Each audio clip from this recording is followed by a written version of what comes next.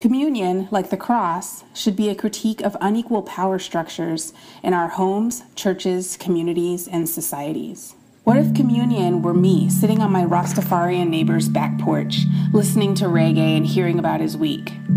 Do this in remembrance of me. What if communion were showing up at a protest and taking on issues that are not at all my own? Do this in remembrance of me.